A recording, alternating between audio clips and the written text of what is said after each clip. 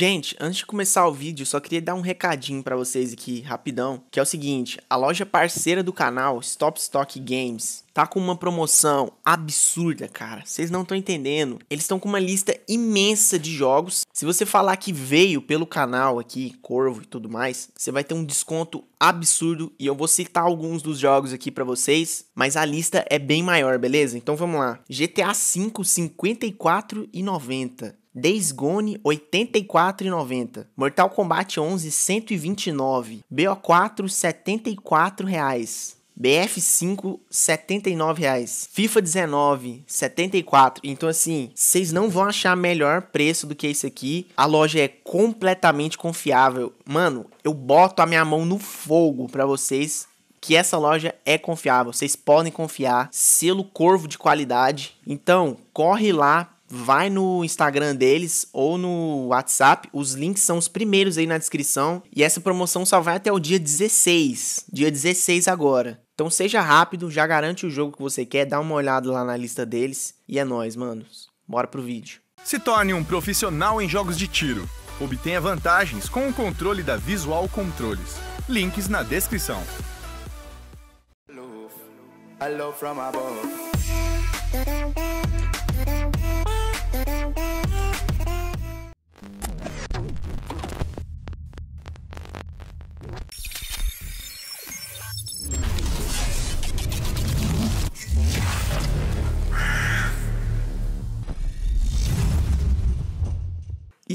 gente, tudo bem com vocês? Quem fala é o Corvo, trazendo mais um vídeo. Dessa vez, um podcastzinho. Vocês sempre curtem esses podcastzinhos. Tinha um, alguns meses, eu acho, que eu não fazia esses no estilo que eu só converso sobre um assunto aleatório, saca? Sem ter jogo em relação. E, cara, eu gosto muito de fazer esses podcasts. Eu vou tentar voltar a fazer justamente esses sobre assuntos relativos. Então, por favor, dá uma sugestão de um assunto massa aí, que se for um assunto legal, eu posso até trazer um próximo vídeo sobre isso, beleza? Mas então, eu não sei quantos de vocês assistiram um vídeo, mas uns meses atrás eu fiz um vídeo falando sobre acordar cedo falando sobre acordar às 5 da manhã e tudo mais, como que você tem mais disposição para fazer as coisas e essas coisas assim, né? Aí vocês me indicaram o livro Milagre da Manhã que eu não tinha lido, inclusive. Ele tá aqui na minha mesa para eu ler, mas eu tô adiando ele um pouco porque eu tô com outras prioridades em, em leitura, sabe? Mas e o que acontece? Eu falei algumas coisas interessantes naquele vídeo. Falei que, tipo assim, quando você acorda cedo, é como se você tivesse um mindset diferente como se você tivesse mais disposto a fazer as coisas que normalmente você não tem tanta disposição assim. Eu lembro muito bem que as palavras que eu usei naquele vídeo foram mais ou menos assim: já acordei 5 horas da manhã, né? O que, que é isso perto disso? Ah, sei lá, você tem que fazer um regime você não pode comer um chocolate. Daí você para na hora e você pensa: pô, já acordei, então.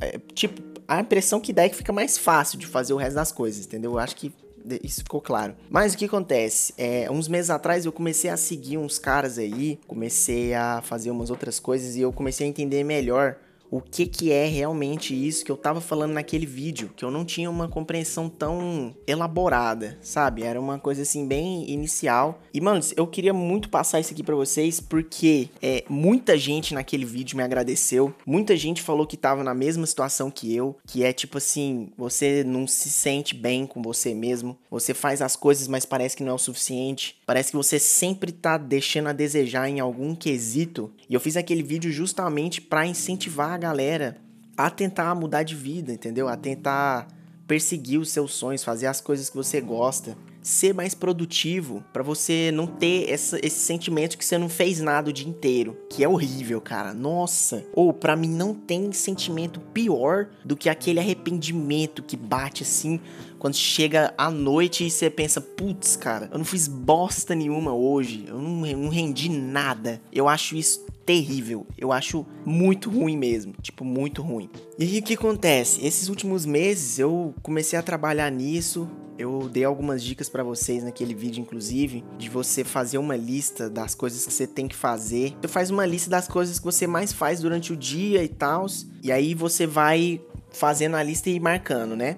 Eu lembro que eu tinha indicado para vocês para fazer isso no celular, no aplicativo, né? Mas cara, eu cheguei a, a uma conclusão que é o seguinte: por mais que seja muito bom você fazer uma lista em celular, que é mais prático, né? Você vai lá e marca as paradas, não tem o mesmo peso do que você escrever. Eu não sei o que é que o ser humano tem com escrita, mas cara, quando você escreve um negócio, parece que é mais muito mais pesado do que você anotar lá no celular. Eu acho que tem muito a ver com esse lance do real. Tipo assim, você tá passando aquilo pra realidade entre aspas, né? Porque o celular é real, mas eu acho que é físico, entendeu? O papel você tá aqui, você pega ele, você, você manuseia ele. Então, assim, eu comecei a reparar uma coisa, que é o seguinte: eu tava fazendo essa lista no celular e eu não tava rendendo muito.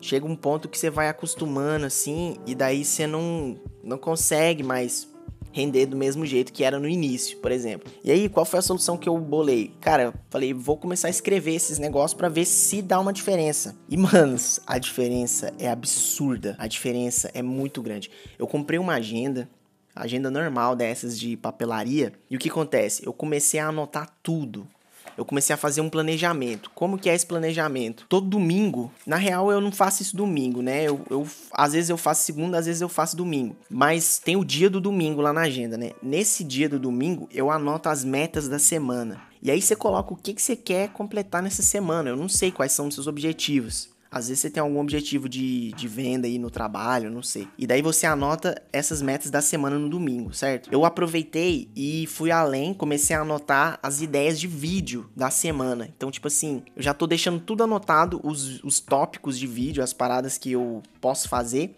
porque é muito mais fácil para mim lembrar depois. Então eu comecei a fazer isso.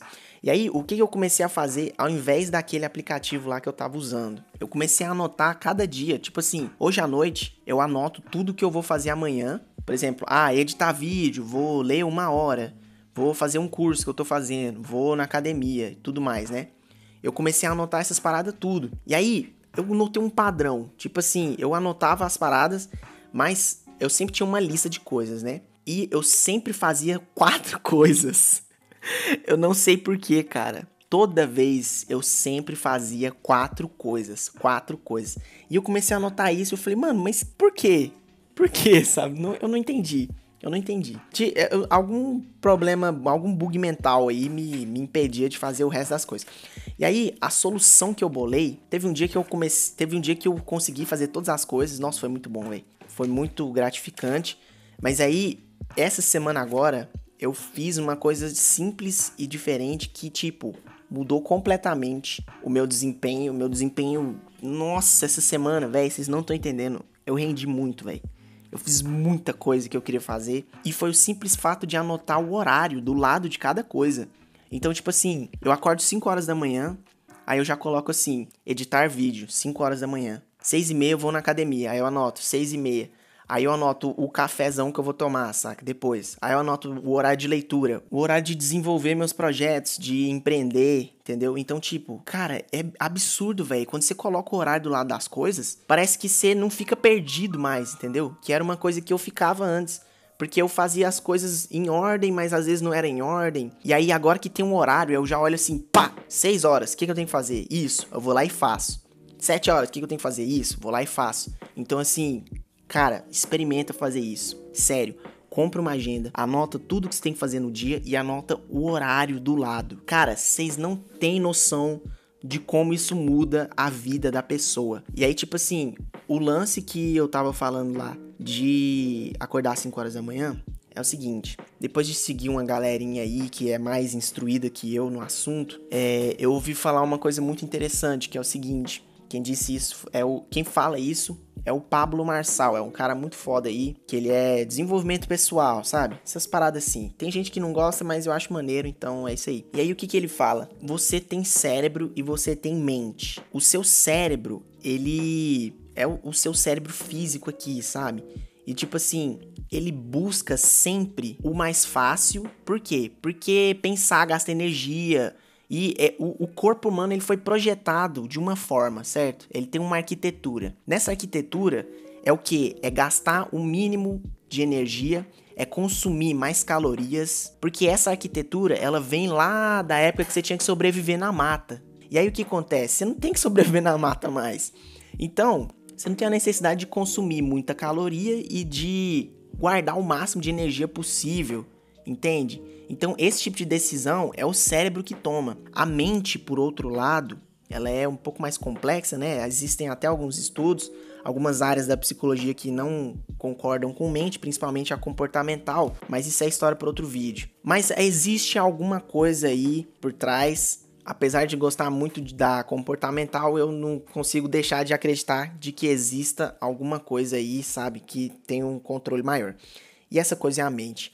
E aí o que acontece? A sua mente é, sei lá, os, os seus sonhos que você tem, as decisões que você tem, por exemplo, ah, quero parar de fumar, saca? Isso quem fala é a sua mente, só que o seu cérebro tá viciado. Então, tipo assim, o seu cérebro fica o tempo todo querendo fumar, mas a sua mente não quer. E aí o que acontece? Esses caras falam muito bem sobre isso, que é o seguinte: quem tem que dominar é a sua mente, não é o seu cérebro. Então, você quando você atinge esse ponto, você começa a entender que, tipo assim, é a sua mente que tá no, no, controle, não é o seu cérebro. E aí, uma das coisas que eu comecei a fazer tem um mês, que foi quando eu, eu ouvi essas paradas, achei muito interessante, é o seguinte: tomar banho gelado. Eu tomo banho gelado tem um mês, velho, e tá frio.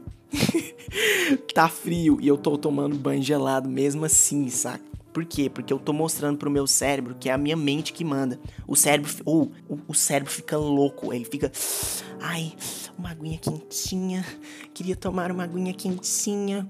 E aí você vai lá e dá um banho gelado no, no negócio, saca? Então, tipo assim, é uma forma de você ter disciplina, de você mostrar que você tá no controle e, cara, fica muito mais fácil você atingir os seus objetivos. Então, duas coisas que eu recomendo nesse vídeo. Começa a tomar banho gelado Coloca a sua mente no controle do seu corpo, não seu cérebro. Compra uma agenda e começa a fazer o planejamento do seu dia. Porque, cara, sem planejamento você não faz bosta nenhuma.